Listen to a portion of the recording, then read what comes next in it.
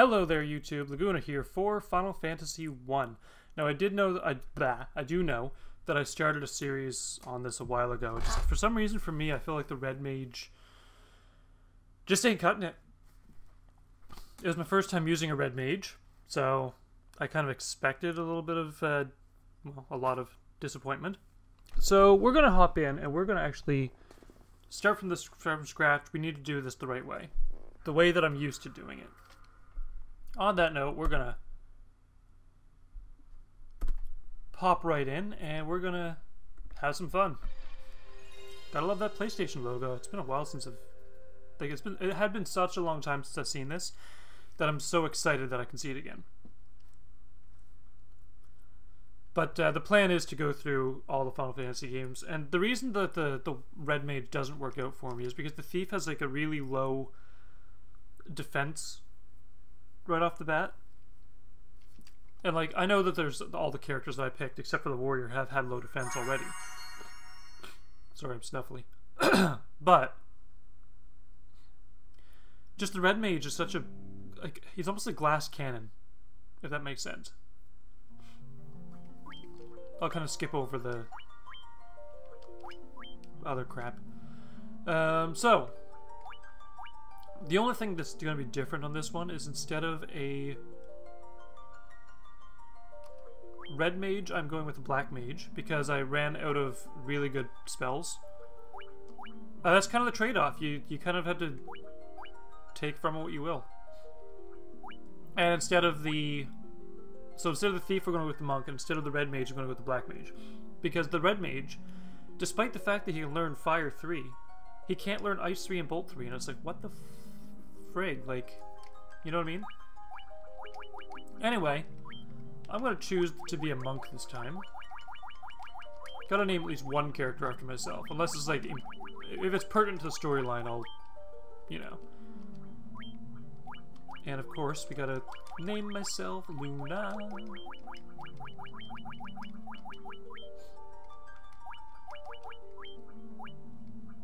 It would just be iconic to name this character Vivi.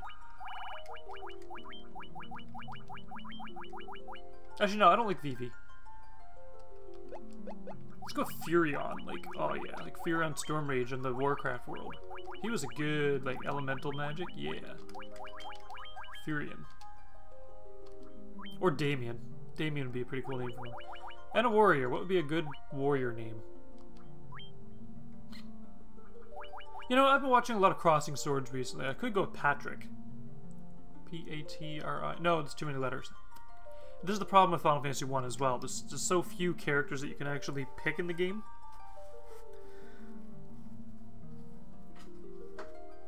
Uh, just let me let my hair down a little for this. There we go, it's better. Uh, what's a good warrior name? That's, that's probably a good... Should have started with that. Um, I mean, Mervin was fucking hilarious. it's Mervyn. Um, this is always the trouble, is picking names. Just wait till they get into The Sims. That's going to be ridiculous. Luna, Laguna, Locke. Screw it, Leon.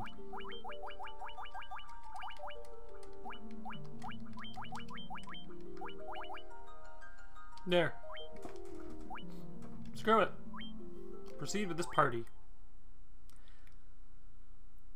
So I was also looking on the uh, the strategy wiki for a lot of people who are playing Final Fantasy 1 for the first time. And they apparently narrowed it down to seven battle combinations. And somehow when I was playing through the first game, or not the first, game, the first time, I actually picked the right battle combination.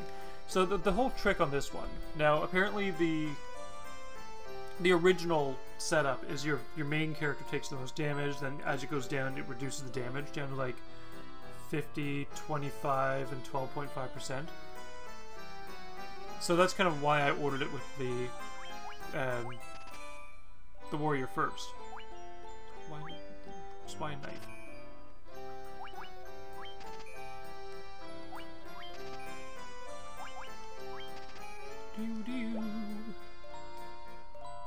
Now, there's not really a whole lot that I can say about this right now. It's it's going to be a shorter video because I'm going to cut out all the BS if that makes sense. Okay, leather armor. Chainmail and two shirts.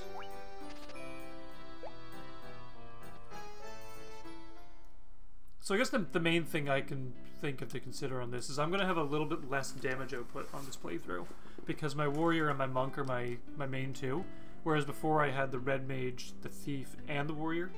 Uh, so the red mage is apparently like ideal to start off with. So like the best ones I guess people go for, you have to have at least one warrior. If you have a warrior, you can go with like a thief, white mage, black mage, red mage, white mage, black mage, uh, there's always going to be like a damage dealer or a warrior, a white mage, and then another damage dealer and a black magic user. And so that's why you'll see a lot of builds that kind of come up with warrior white mage, monk black mage, two red mages, warrior black mage, warrior red mage. Like you see a lot of like those kind of setups. anyway, Forgive me, by the way, I just kind of woke up, so I'm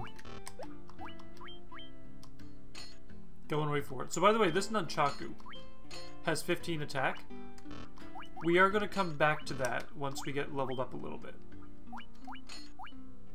There is a reason I'm mentioning that right now, because I will forget. Ooh, I'd rather have 15 accuracy than 1 attack. There we go. So you talk to the townsfolk, you'll see that there's kind of nothing really going on. Prophet Lukahn, Prophet, blah, blah, Prophet Lukahn left Cornelia saying he was off to find the Crescent Moon. I'm assuming the Crescent Moon would be a Crescent Lake. Oh, please, please rescue the princess. Well, I didn't even know the princess was missing. His Majesty believes the Light Warriors will save the princess, as the Prophet Lukahn told him. Cool. Hi there, handsome. Wink. Our king is searching for the Light Warriors. Wait, can you be? Please, go see his majesty at once.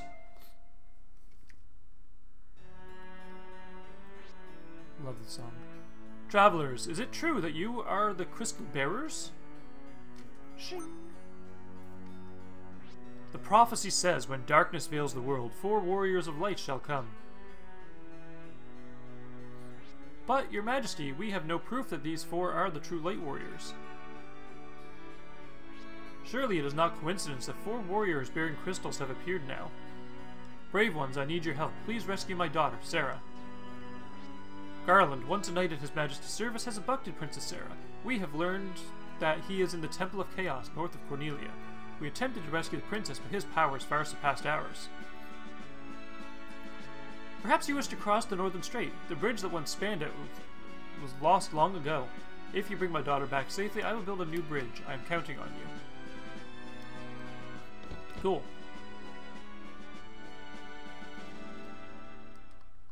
Our king is searching for the Light Warriors. Wait, can you be? Yeah, you'll see a lot of one one-off dialogue. The queen has shut herself away in her room out of grief. Enough in, in funniness on this one, the original NES translation had to say that she locked herself in her room, but the door was wide open, so it was kind of really, really funny to see that, you know, that wasn't actually a lock on, on the door. I am Jane, Queen of Cornelia. Please save my daughter. I beg you. Cool.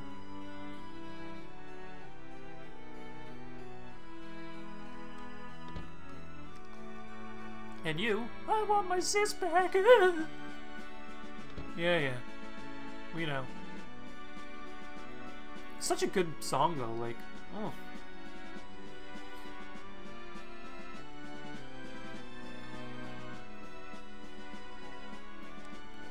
Our ancestors sealed weapons away here and left the key in the Elven Prince's keeping. He was to guard it until the Light Warriors came.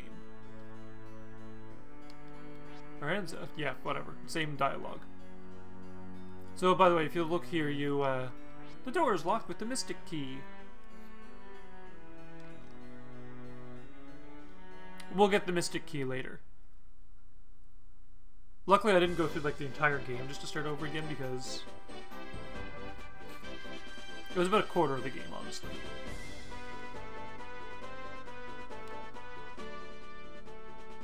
I took 420 steps. That's funny. The other thing we want to do for battle prep as well here is we want to go through and get some spells. So we definitely want her to have Blink, because as a white mage, she is the one who's going to be taking all the healing. Excuse me. I'm allergic to something in this apartment. All the healing goes under her belt. Against undead enemies, she is also the one who's going to do it. And we would rather have 80 evasion instead of like 5 defense or 8 defense or whatever it is. Same thing with this guy. Like, yeah, we need fire, but we also want to put enemies to sleep and stuff like that as well. And I'm one of those people, I need to have things alphabetic.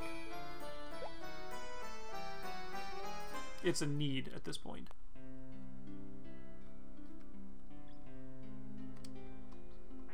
Oh well. Not at all important. I feel like that's sarcasm. I can't tell sarcasm. Oop, I saw a different townsfolk person there too. Who are you, green-haired girl? From where did you come? This is Cornelia, the city where dreams are woven.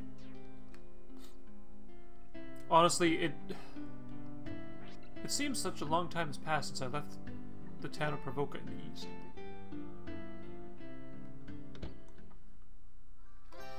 I mean, fair. I can't even afford an antidote.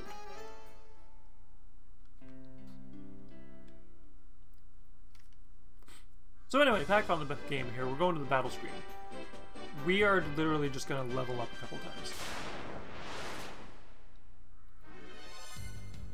Because I do want to show you what was up with Laguna and his monkhood.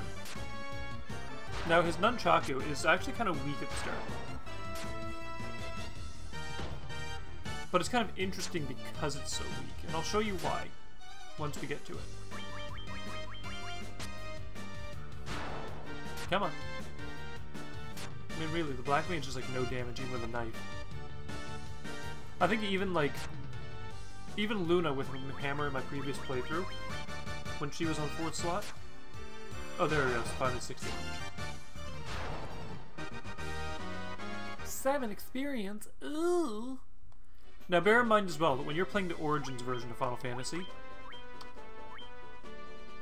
you're going to have a bestiary pop up on your screen as well uh, when you go to the config menu, and it tells you how much experience each creature is going to give you. Now, it does get divided by 4 and then rounded down to the nearest increment of 4. So basically, in this one, I had 5 goblins I was fighting. 5 goblins times 6 experience points is 30 experience. Divide that among 4 members is 28 and a half per character.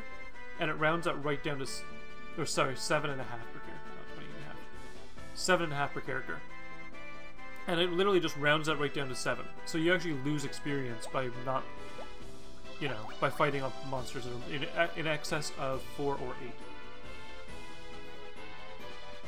To get the best bang for your buck, you want to fight like the same monster in a group of four or the same monster in a group of eight, because otherwise you're just going to be screwed. But you also see these things unlock as well, just the art pieces. we'll kind of come back and observe this art when we get there. Now the only thing I, I want to mention on this is with Laguna's equipment, or the monk's equipment I should say. He has 2 attack and 5 accuracy. Just keep that in mind. We'll, we'll come back to this.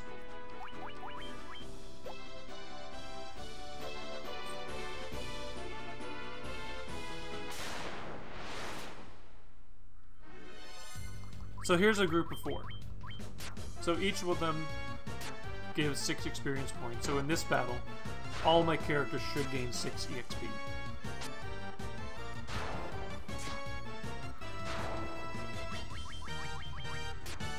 Ooh, nice. Thank you, Furion, for your knife abilities. And see, that's what I like. Instead of losing like 5 experience per monster, you know? Not losing it, but you know what I mean.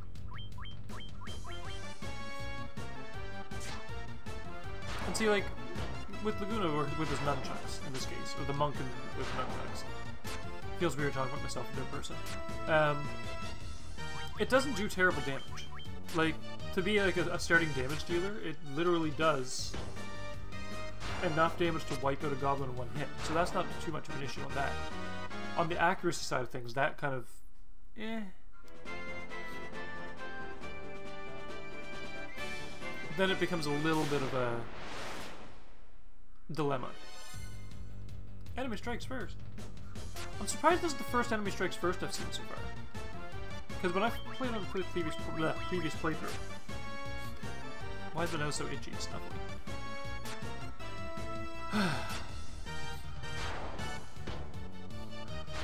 Must be the weather. Of pollen in the air. Anyway, um, on my previous playthrough, like every second battle was a an enemy strikes first, enemy strikes first. It was like, why? And I don't know if it's to do with the party configuration at this point either, because, like, for example, having a thief in the party, they may not have as much agility right off the bat, and they'll have more agility as the, as the game goes on. But if a monk, for example, starts with higher agility than a thief does, that might explain why I'm getting less um, back attacks. Anyway, as usual, Leon gains a massive amount of HP, but he'll stay at 22. So you want to make sure you're going to uh, an inn every time you do this. Uh, 31 HP. That is mint. Agility, endurance, luck. Strength, agility, intelligence, endurance, luck. Intelligence. Really, just intelligence. So anyway, he still has 15. But now he has 4 attack. So this nunchuck thing, when you get through to like level 7 or 8, at that point in time, like yes, his accuracy is increased by 3 already, so that's already mwah, mint. But his attack goes up, but not with his weapon equipped. So his nunchaku actually give him an edge for like the first, let's see, two, eight levels. So once he hits level 8 or 9, we can actually take off the nunchaku and he'll do more damage bare-fisted than he does with the nunchaku. So that's kind of why I like the, the monk a little bit more, is because you have to spend less money on armor and equipment and all that stuff. So on that note, we're going to go through and we're going to at least get one more level up and we'll at least go through the Temple. We'll get, we'll get to the point where we're ready for the Temple of Chaos.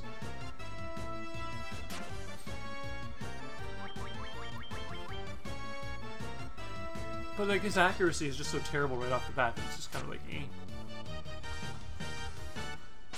But uh, you can see though, like when you gain all these HP points and I don't know, sorry, HP hit points, it doesn't actually increase your base, and that's that's kind of what I don't like about the game from a programming standpoint.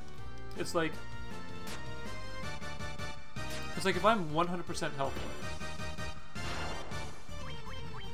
Like, I have no health problems whatsoever, and suddenly my HP goes up.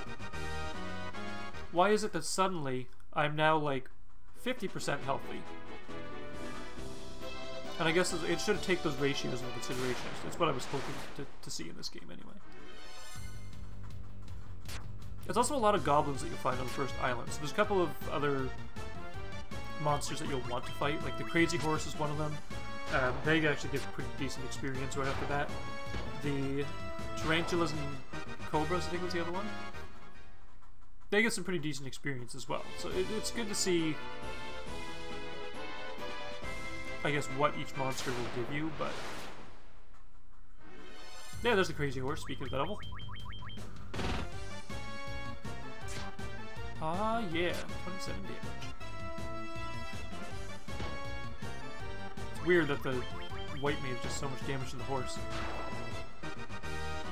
See, 15 experience. That's a little better.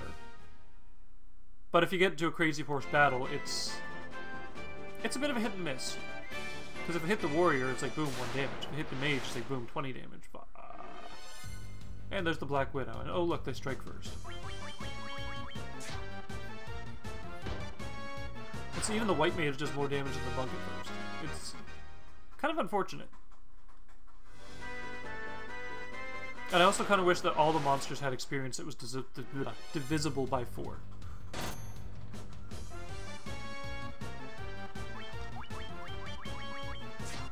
Nineteen. I. Nope. I'm also trying to change the channel a little bit so I don't swear as much. Some of the Rage games, like Bennett Foddy, I will swear still. But I'm trying to keep this as family-friendly as possible. So that's kind of why I'm restarting the series. Because like with the uh, the YouTube algorithms and stuff like that, I, I want to at least make sure that I'm not, you know, screwing myself over. Speaking of screwing myself over, Dia has a great ability to wipe out hordes of undead, but only if they get to use it first. Because if, you, if your entire party wipes out the skeletons, and you kind of screw them that sort of thing. So that's that's fine. That's fine. That's just fine. This is fine.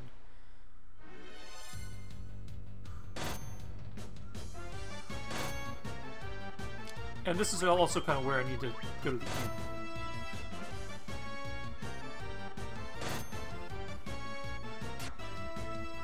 See, like...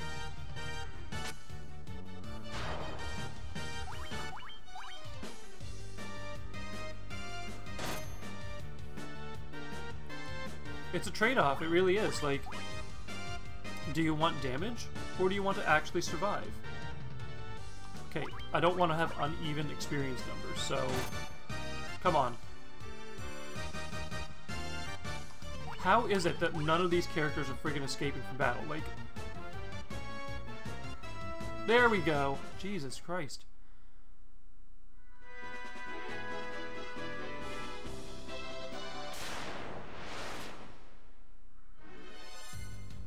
Preemptive strike? Ooh, maybe I get to run right away. There we go.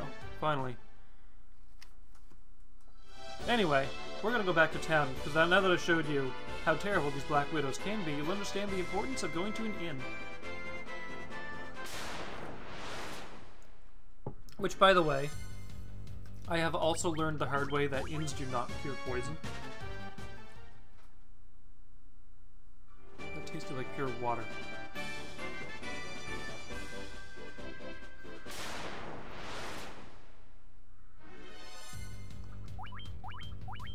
I don't like running from battle, but if it's to preserve my experience ratios per character, then you bet your ass I'm gonna run from battle.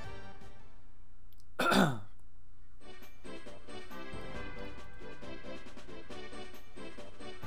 this is kind of like the starting point into the Final Fantasy series. Is that a. Nope, that's got this one on it. Cool. Now, this is also kind of why I let one of my characters die as well. I wanted to show you that inns don't actually revive you. There's a separate building for this. And this is kind of why you want to have a balanced party as well, is because you wish to revive this person? Yes. And then they they request a donation, otherwise you can't revive your character, which is kind of like extortionate for a priest to be like, oh, you want to revive? Well.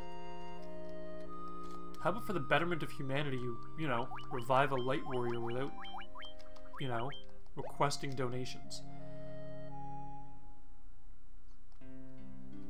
And I guess that's kind of the um, the point that I'm trying to make on that one is keep your characters alive. Just just keep them alive. That that's the only thing I can say on that.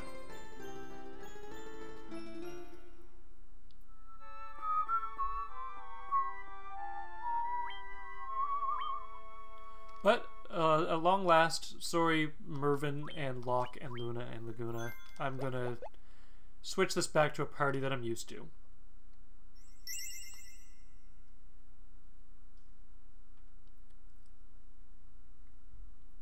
So anyway, the other thing I wanted to do, now that I have my party back, and my gold, obviously, I probably should have did this before I slept at the inn.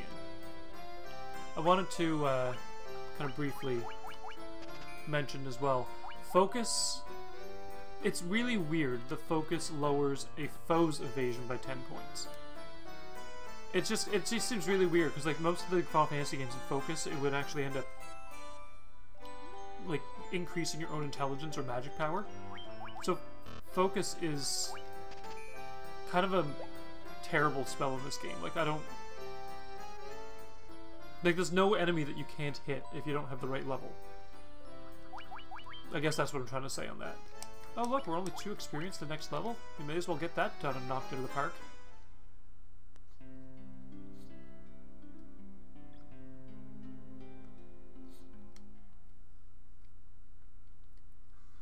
But it's also interesting to see that the monk, for example, has the um, the bare-handed attack boost, but it doesn't apply itself to the nunchaku. Like, I know this seems like a really weird thing to focus on, but like, you figure with more strength you'd be able to do more damage with more weapons. Like the warrior, for example, he always gets strength for his weapons.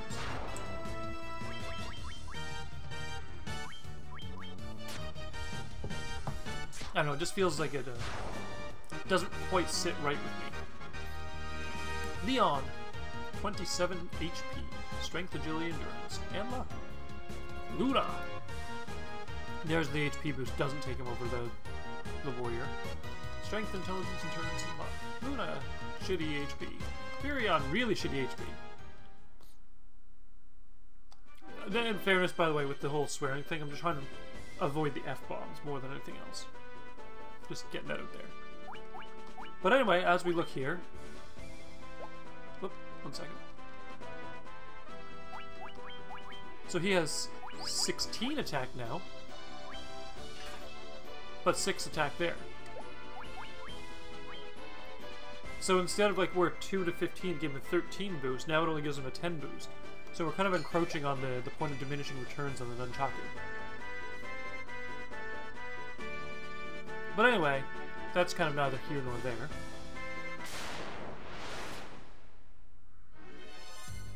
Wolfie! But see, now that we've gained three level, or sorry, two levels, we're at level three. Now we can start to fight the other types of monsters and kind of go in into the, the Chaos Cavern, at least see what's there.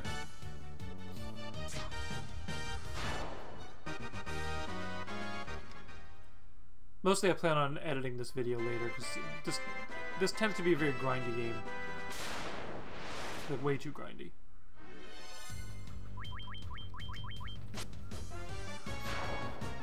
But I guess at this point I just kind of want to fight all the monsters at this point, so just... It helps. There's also like werewolves, werewolves, there's a whole bunch of like other fantasy monsters that are just kind of like a recolor of the previous iteration. Ooh, Goblin Guard. See? A recolor. There we go there. Could not have had more perfect timing. But yeah, it's just literally a regular goblin and just recolored purple. Which, I get it for like rendering purposes, it's kind of helpful, but yeah. Temple of Chaos. Of course, the Black Widow strikes first, and of course it deals ridiculous amounts of damage to me.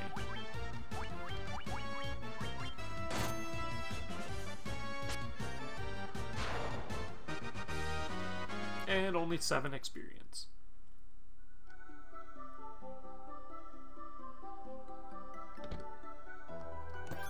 Leather cap. Who can equip a leather cap? Can you equip a leather cap? You can, and you need defense, so... Leather cap it is. Come on, zombies. There's a zombie. Or a ghoul, I should say.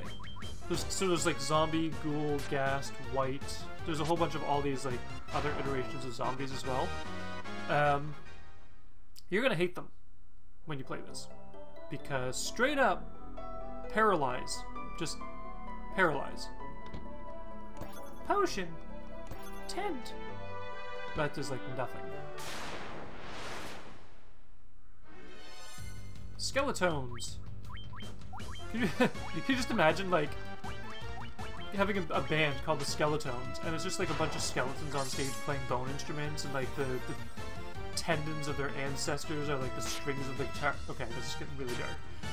But it's an idea that I've had back in like high school, and even when I went through like Lego Jurassic World, I saw there was like they kind of had it sort of. They were skeletons playing actual instruments, but I kind of like want to make the skeletons a thing, and I actually have a plan for it in one of the video games, but in like one of the ones I'm developing. So it's it's gonna be a fun one.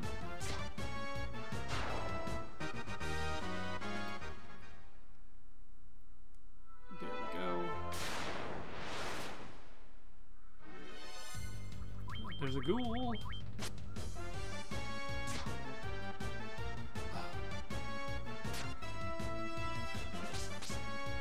See, paralyzed, and he also got three hits. Like, this is a starting area, by the way. Like, this is where you fight Garland for the first time. He's, like, that's been established already. He's in the Temple of Chaos. And these monsters are doing, like, three hits and paralyzing me, too. This door's locked with the Mystic Key. I really...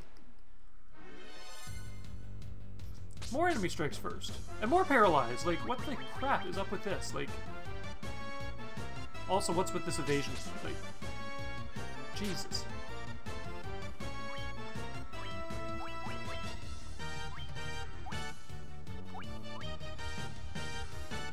I like that the potion was able to go first. That, that's helpful. Like, what is up with this? Like...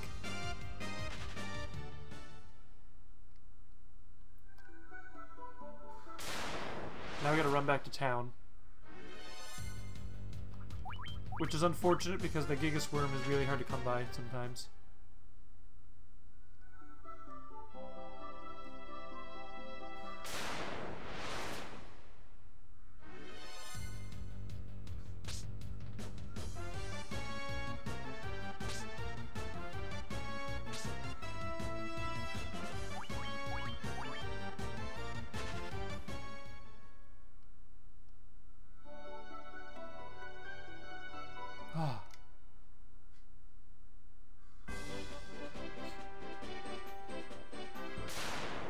So apparently we're not ready for the Temple of Chaos yet.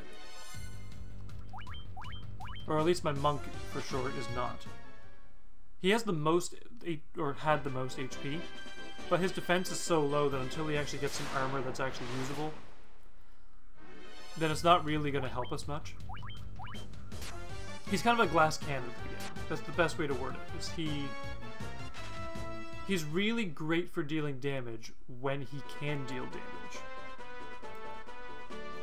The problem is, when can he deal damage? It's also weird that all my preemptive attacks are coming up while he's dead.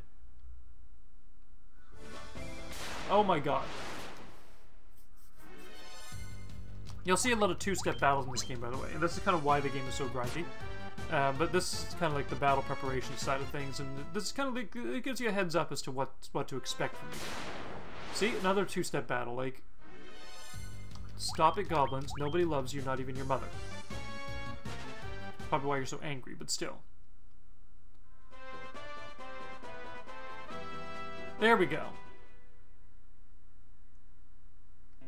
Cornelia.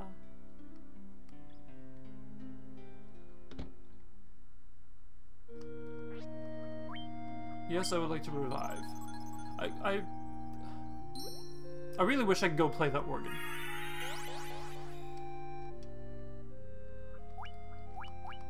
Formation.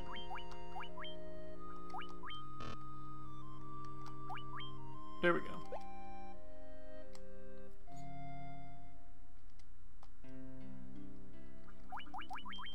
Twenty experience. Yeah, we may as well get one more level up and then call it a day.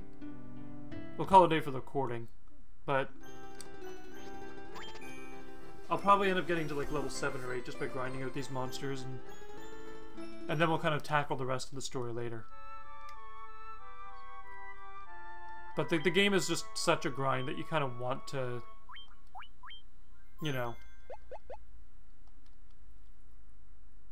you're just going to want to, I may as well just stop the recording here actually. You're going to want to grind out some level ups every dungeon you go to essentially, because otherwise you're going to run into this stuff where your monk will take too much damage because of the triple hits, or, you know. It's just... It's hard to explain why you need to level up, but, but for example, the monk. His nunchaku has like a, a base hit rate of like one hit. And it might go up to like two or three as you go along through the game. But with the monk as a barehanded, he gets more strength the more level more level ups he has. But also when he's barehanded, he actually has the most hit rate. I've seen it go up to like 16 before. And it's like that's what this character goes boom, boom, boom, boom, like literally four or five sound effects in a row. That's how many attacks he had done. Because even like the other one was like two sound effect clips, and it gave three hits, and that was like going instead of just. So you'll start to see the sound effects kind of increasing as well. It's it's it's interesting to see it, but yeah. Anyway, um, now that we kind of saved on that side of things, I am gonna level up by myself. But if you guys have any recommendations for games, please let me know. I'm more than happy to, to, li to listen to your recommendations and, and play new games. Also, with the Final Fantasy setup, it is something I am very interested to see what you guys do for your parties. Because a lot of the the formulas that people use are like the I, I mentioned this before: warrior, thief, white mage, black mage, warrior, red mage, white mage, black mage, warrior, thief, red mage, white mage, two warriors, white mage, black mage, two warriors, red mage, white mage, warrior, two red and a white, warrior, monk, white, black. So those, the, those are the seven key possibilities. But I do know as well that a lot of people have tried the, the four white mage party or the four warrior party, which is a very powerhousey one. It's a very expensive friggin' party, but that's a whole other story. But there's, there's like a there's a whole section on Strategy Wiki that goes over why the balanced parties are balanced the way they are. So like Warrior, Thief, Red Mage, White Mage that I tried on the last playthrough. Three strong physical fighters, access to all magic, eventually. All characters can use magic, and the ability to flee from most battles. Along with like um, an overlap, I guess, on the healing spells. So like more one character can heal but you can't learn the strongest black magic with that power, with that ability, and I kind of want to be able to use the, the highest amount of magic. And that's kind of why I switched over and I went to the, the Warrior Monk White Mage Black Mage, the one I always use, because I like the unarms. It's it's very cheap to get gear for them, so there's an armor piece, and there you go. Um, but yeah, I guess like overall, if one of my characters dies, the overall performance of the whole party is going to suffer. Because I'll be like, if my black mage dies, I don't have black magic anymore. White mage dies, no more healing. Monk dies, no more speed. Warrior dies, I have no one to take damage. So I, I, guess that's kind of what I'm looking at on my side of things. But a lot of other people have actually gone with two warriors two red mages, which is kind of weird, but... Um, yeah,